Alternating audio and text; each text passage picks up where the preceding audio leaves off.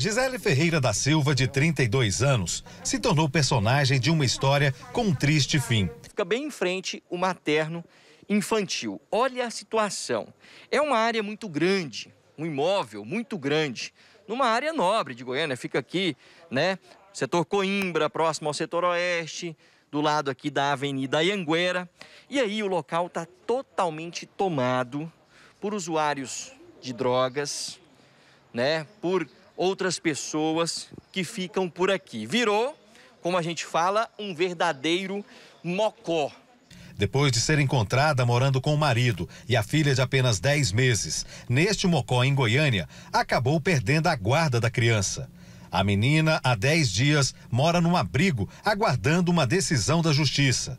Na casa da mãe dela, conseguimos convencer Gisele a gravar uma entrevista. Depois de alguns minutos, a Gisele, vendo a nossa presença aqui na casa da mãe dela, decidiu conversar com a gente e ela disse que vai abrir o coração de tudo que ela está sentindo neste momento, na tentativa de reencontrar com a filha e ter uma nova vida.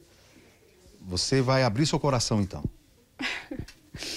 Sim, esse aqui é o bercinho dela. E aqui as roupinhas que eu trouxe dela, que tava, que tava lá comigo.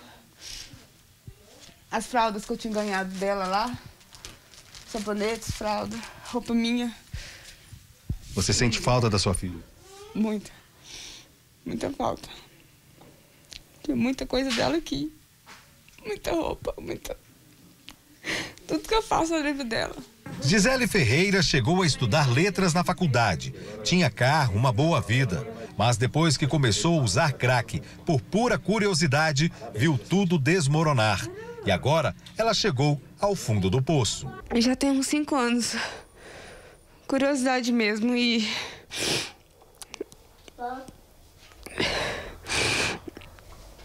Como é que foi? Depois que eu me envolvi, eu não saí mais. Não fiz tratamento, nunca parei, nunca parei. E por qual motivo? Não sei explicar. Você está grávida? Gestante. Já está entrando no nono mês. Sim. Você não sabe ainda se é menino ou menina? Não sei. Mas tem ganhado bastante. bastante roupinha já, unissex, muito. Já algumas coisinhas já tem ganhado já pro meu neném. Você não fez o pré-natal até hoje? Não fiz. Então você está precisando de uma ajuda também com o seu enxoval. Meu enxoval também. Eu quero cuidar dos meus filhos. Eu quero ter eles perto de mim. Mas eu não tenho condição agora, mas uma ajuda que eu ganhar, eu consigo tê-los. A mãe de Gisele ficou surpresa com essa atitude. Disse que vai fazer de tudo para ajudar a filha. Porque eu já tentei outras vezes tratamento que ela fizesse o tratamento. Já cheguei até levá-la numa chácara. Chegando lá, ela desistiu, ela não quis ficar. Chegando ao nono mês de gravidez, Gisele não fez nenhum pré-natal. Não sabe nem o sexo do bebê. Você não sabe nem o sexo da criança? Não sei, ainda não. De repente ainda dá tempo de fazer uma. Uma. Uma outra som.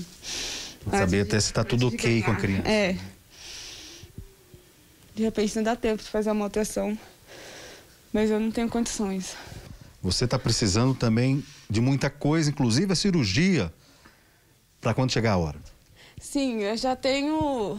Eu já tenho cinco filhos. E já vou pro quinto filho, na verdade, então eu precisava de uma cirurgia pelo fato de não ter feito acompanhamento. Então eu preciso fazer a cirurgia, operar para não ter mais filhos, né? E enxoval também. Enxoval é bom também. Não tem nada do neném ainda. Para tudo ficar perfeito, recuperação, sua filha ao lado e a chegada de um novo membro. Com certeza. Com certeza. Só isso que eu preciso. E a minha recuperação.